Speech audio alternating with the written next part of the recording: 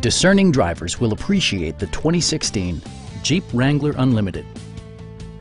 Smooth gear shifts are achieved thanks to the refined six-cylinder engine, providing a spirited yet composed ride and drive. Stop by our dealership or give us a call for more information.